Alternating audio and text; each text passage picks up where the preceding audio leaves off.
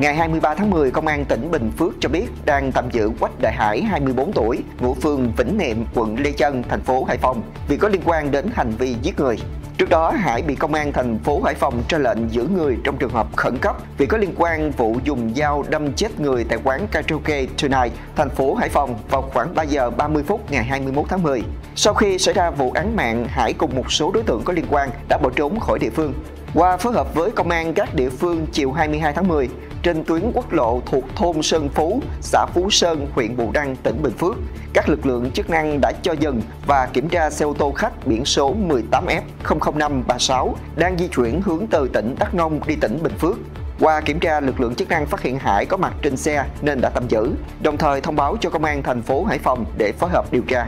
Theo cơ quan công an ngày 21 tháng 10, Hải cùng Lê Văn Khánh, Trần Viết Trung, Phạm Hoàng Phương đánh nhau với nhóm của anh Tê. Hậu quả anh Tê bị nhóm thanh niên dùng dao đâm tử vong. Ngoài Hải bị bắt ở tỉnh Bình Phước, các đối tượng Lê Văn Khánh và Trần Quyết Trung bỏ trốn vào Đắk Lắk cũng đã bị bắt giữ.